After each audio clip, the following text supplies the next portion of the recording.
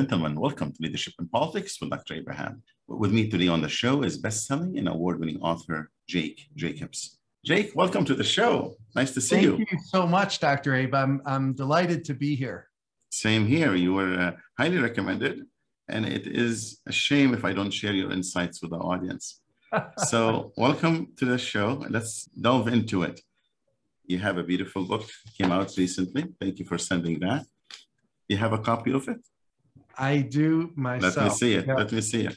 Here you go. Here you go, guys. So we have the author of Leverage Change tonight or today with us. He's going to share the insight of his new book.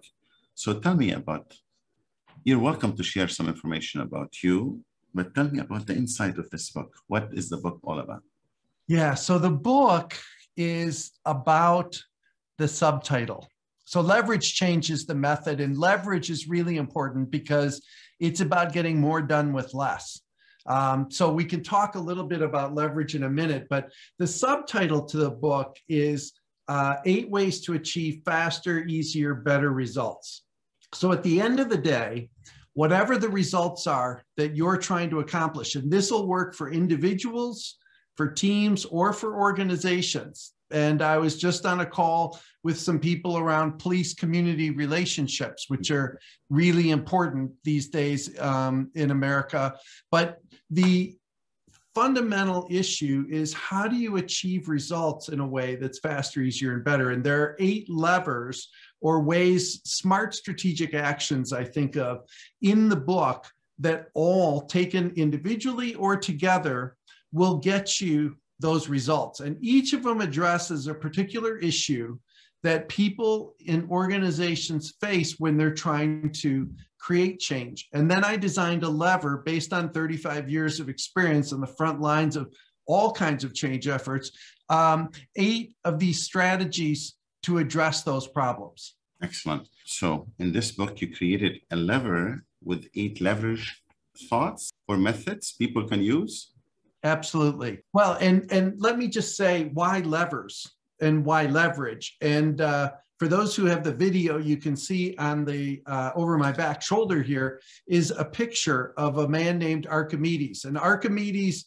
was a third century Greek mathematician, third century BC. He described leverage in a way that I really liked, and I think it's true for the book, which is give me a lever long enough and a fulcrum on which to place it, and single handed I shall move the world. So I wrote this book with a deep belief that people can move their worlds in the arena of change by using these levers. And by using a good, strong lever, Archimedes could move boulders that the strongest men in the world couldn't budge. And I believe that with the levers in the book, you can achieve changes that you could only imagine beforehand. And again, going back, Dr. Abe, to faster, easier, better being the bottom line here. So we're not just talking about getting the job done, but we're talking about getting it done in a unique way that you, I, and your listeners would be most interested in? So it's an effective way. There is the successful way. And this book brings an effective way to managing change. Whose is this book ideal for? So I'm, I'm, I'm going to give you two answers to that. The first one was the one that I wrote the book for. Okay. And that is for people leading change work in organizations that are frustrated that the results they're achieving are too slow, too hard, or too often disappointing. So when I say leading change work, it could be um, a manager and their team. It could be looking at multiple leaders of different change efforts in the same organization. So I designed this uh, program. It's a group consultation program, and you could get multiple leaders of different change efforts. And how do you get those efforts aligned is that we we go through this program together because often change efforts in organizations work at cross purposes. And so the question becomes that's the first one. Who did i write the book for? It's people who lead change work and they're frustrated. The second one actually came from another podcast and i will own that this book is for these people too. They said to me i think you have the next chicken soup for the soul. Mm-hmm. And i said what? Now, I'm pretty quick on my feet and I think and prepare for these podcasts, but I was not expecting chicken soup for the soul. And so I asked the podcaster, What do you mean by that? And he said, Well, have you ever used this book for relationships? I like it. Let me ask you. Let me let's yeah. give a credit to the podcaster. Who was it? Ah, Ed Everts. Nice. Ed Everts was nice. the one who asked it, and good, good, good. Um, I, I so so is it about relationships? And I said, yeah, it should be because anywhere you want results, then if you want them faster, easier, and better, the book will help you. So if you're having an issue with a spouse, if you're having some challenges with a teenage child, um, there's a story in the book about a, a leader and their direct report and the relationship that they had and what they needed to do to improve that relationship. It went from this person uh, almost being fired to them being one of the most valuable members of the team. So, in that one on one relationship in the workplace, we could see it. And this person was perceptive enough, astute enough to be able to look and say, well, shouldn't you be able to use it in your personal life? So the next book is going to be the leverage change organization and then the leverage change leader. And then Dr. Abe, chicken soup for the leverage soul. It's coming like out to a store near you soon. Actually, I like it. It's a compliment when he addressed it like this. Because when we deal in organizations or family setting, you deal with the relationships. And Absolutely. when you have when you have insights like what you have in your book, you're actually managing the behaviors of these parties to the relationship. What I gathered is you you come from the I to the we in your approach to it. You involve others in your thinking. You don't yeah. say, okay, I think this way and you should do it. You you try to be inclusive of others. Why is that important in dealing with either teams or organization? Right, and I and I've worked with um, two kinds of clients, Dr. Abe. One of them I would call natural participative leaders, and these are folks who just in their DNA they're about inclusion. And so they draw circles that include people in all of the work that they're doing right and and they, they don't have to work at it they don't have to get trained in it they they just they believe it in their souls and they act in ways that are consistent with that. Okay. That's one kind of client. The other kind of client that I've worked with over the past 35 years is one that's not a natural participative leader, but they're results oriented. And so what they're interested in is getting to the bottom line and beyond. How do we win in the marketplace? And I'm not saying that participative leaders don't want to win in the marketplace, but these are folks, the second group are not natural participators. They don't draw lines that include people. They're more my way or the highway kind of folks, if you can imagine, right? And they're interested in results. And so I've worked just as well with those kind of people because including people and engaging them meaningfully in their work and in creating their collective future is a better way to get results achieved. And these people have been open. I've had a client of mine who said, Look, I don't like all this participation business. I don't even necessarily believe in it, but it works. And so I'm going to use it. And so that's one of those examples where do you need their heart and soul or do you need the behavior? And the behavior was enough that over time, this person came to adopt a more participative approach, but they came to it through the results door. And at the end of the day, this is a win win. This is a way that you get better retention and recruitment into organizations because you're engaging people and people like to be engaged. And it's a win win because at the end of the day, you're going to be more successful and effective in your organization no matter what your mission is. Very true. Very true. This is this is your third book or second book? This is the third one. This is the third one. You have the books behind you. I do. I had a chance to go and review some of these books. You tap on the previous, basically, you have 35 years of experience in consulting sharing with others, teaching executives, and guiding them to be effective. And here you put these thoughts together so you help others. You continue, you're in the service, service of others, really. Let's yes. go to let's go to the previous book you did. Also, you included others. Why is others? I'm still in the same kind of uh, point. Why is involving others is important in Yeah, managing so- change? So the other book that we're talking about for your listeners is You Don't Have to Do It Alone, How to Involve Others to Get Things Done. In the very first chapter of that book, Dr. Abe, we said, look, if you don't have to involve people, then don't, right? I mean, it's harder, it takes more time, all these things that are reasons. But if you need to involve them, right, do it well.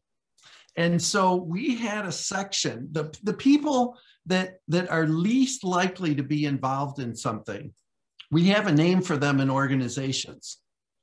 Uh, they get called troublemakers, Troublemakers. Mm. right? And troublemakers are the ones that like they don't get on board, they have one more question, they have a different perspective on things than everybody else. They're like a thorn in the side. You're like ready to be done with this topic and move on. And they say, I got, I got one more question. And we have trouble with these people, but I think that comes from a misguided paradigm. And what I mean by that is that troublemaking is in the eye of the beholder. If I have you be troublemaking, you tend to create trouble. If I have you be a valuable contributor to my team, when you raise that question, when you push us to look at something a little closer, I will see that as a valuable contribution to my team. Yes. So the reason to include people is to get better answers. It's to encourage the troublemakers in your organization to speak up. I talk about in the Leverage Change book that there are four magic words. And those four magic words that if all leaders could learn them, I, I would, uh, I won't say I would retire happily, but if every leader learned these four words and used them, a lot of my work would be done in the world. And they are, could you say more? And what could you say more does is it acts as an invitation to others in the organization to step up and be accountable for their own perspectives. I mean, if you punish people for saying what they think, they will learn not to say anything. But if you come with an invitation, could you say more about that? I, I don't see things that way. I need to understand what you're saying. People will feel freer and freer over time. All of these good outcomes come from welcoming input from others. The feedback of others is very essential in the collaborative efforts. So it's very true. And also, you're talking about psychological safety here. So you're saying Absolutely. you're telling them, hey, you can say anything you want. And I, in my classes, I tell them don't use the word punishment in dealing with others, just not to reward them anymore. So in a way, you're telling them, we're going to reward you regardless. Your feedback is valuable. Yeah, Absolutely. I like it. What else should we know about? Tell me about the lever. Tell me about the lever you had. Yeah. So so let's pick one of the levers out. Um, they each deal with problems, right? So the problem that a lot of organizations suffer from is change fatigue. Right? There's so many changes. There's another reorganization, uh, new technologies, new competitors, new markets. There's always another change coming. And, and I've said this before that, you know, every 10 years, a new futurist comes along and tells us there's going to be more change in the next 10 years than there were in the previous 100. And then 10 years in the future, somebody else says the same thing. So this is not going away. So, how do we deal with change fatigue? Now, most people that you talk to will tell you the answer is less change. If we have too much of something and we're overwhelmed by it, then we need to cut back. Less of it will make it more tolerable for us. But in organizations, we're not looking to be tolerable of things, we're looking to do the right thing. And sometimes the right thing is a number of changes that otherwise otherwise would be overwhelming. But there is a paradoxical approach to this. So when other people, Dr. Abe, are talking about change, what I'm also talking about is what not to change. And I think what not to change is just as important as what we are changing. And if I don't talk about that as a leader, if I don't write that into my memos, use it in my town halls, uh, include it in my conversations and meetings, then people will feel overwhelmed. But what I found is that by including what not to change, and I, have had meetings where we put flip charts up on the wall and we make lists with an executive committee of all the changes that need to be made in the organization. And as they make this list, you can see them start to slump down in their chair. My, their voice gets a little lower and slower. And you can see the depression sit in just during that meeting. And then I say, all right, let's make another list. This time we're going to make a list of all those things that we're going to keep the same, but I want you to make this list twice as long. And as they start making this list of things that are going to stay the same, they sit up in their chair, the, their voice gets louder, right? They start speaking faster, the depression lifts. And what they see is that a lot of things are going to stay the same. And we say, what are the things you're doing really well that you want to make sure you keep doing? The worst thing that happens is during change efforts, dropping the ball on the things that you're already doing well you're like losing points that you already had put up on the scoreboard because you're not doing them as well anymore. As you start to go forward, there are some things you're going to need to let go of. So I'm not saying everything from the past goes forward, but a lot of it does. And when we get in touch with those things, we've got firm ground to stand on to take a leap into the unknown world of change. And having that firm ground to stand on i've seen this in organization after organization. In this group consultation program that we have i have them do the same task. I say make a list of all of those things that are going to stay the same. And and people are amazed at how long their list is and how empowered they feel at the end of making that list because that's already good work that they've done that they don't have to go back and redo. Change, yes, they need to make, but all those things that stay the same, that's like if you if you bet, it's like taking winnings off the table before you even play the first hand. These are things you've done well and you get credit for before you even start your change work. This is an invitation to leaders to look at both sides of the coin. I love it. I, I use that same saying, Dr. Abe. It really I love it. a fuller picture of reality because if all you're doing is looking at change, that's only part of reality. The other part, the other side of the coin, is what you're going to keep doing that you've always done. And wouldn't it be better to make decisions with all of reality in mind instead of just part of it? Yes. Now, change agents out there. This book is your Bible you want to change an environment to be effective? Get this book. I like it. I thank appreciate you for, Thank you for sharing your insights. Where can people find you? Find this book.